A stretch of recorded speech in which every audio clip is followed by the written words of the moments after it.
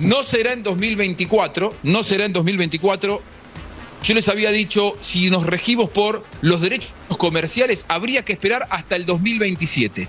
La información que yo tengo es que los mexicanos en Libertadores van a llegar y probablemente los tiempos puedan acelerarse. Yo tengo un año, pero no lo puedo decir. No lo puedo decir. Digo, probablemente los tiempos se aceleren. Es lo único que les voy a decir. No va a ser en 2024. A ver, si no es 2024 y no es 2027. Bueno, no sé. 2025, no, 2026. No, no, voy a decir demasiado. Digo, los tiempos probablemente puedan acelerarse. No será en 2024, eso ya es oficial porque uno mira el, calendario oficial que ya se publicó y no será. ¿Depende del dinero, Juanjo? No, no, no depende. Es más, no, no, no, no puedo dar muchos datos, pero no depende. ¿De qué depende? Yo te diría que, ¿Cómo la te diría que ya está. Juanjo?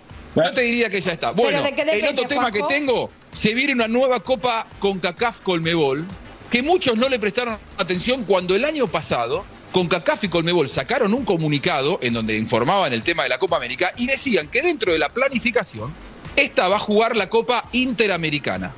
Esa Copa Interamericana Atención porque ya tiene formato, serán ocho equipos, cuatro de CONCACAF, cuatro de Colmebol.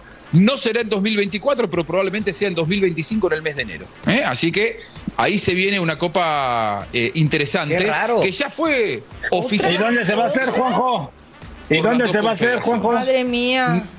Más partidos. Mm, puedo, puedo presumirlo pero todavía no puedo confirmarlo. Qué, raro, porque, porque la última vez que vino el señor Buscalia aquí con bombo y platillo dijo, bueno, nosotros vamos a ir con los europeos y se iba a hacer una asociación no, no, no, americana con Mebol, UEFA.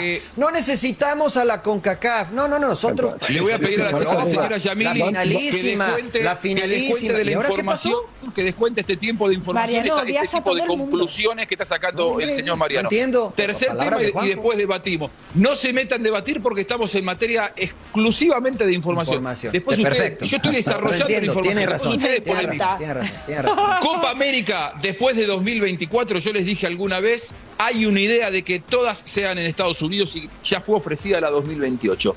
En este momento, debo decirles que eh, hay muchas más dudas que certezas con respecto a la Copa América 2028. Hoy no podría asegurar, como lo hice hace un tiempo, que iba a ser en Estados Unidos. ¿Por qué?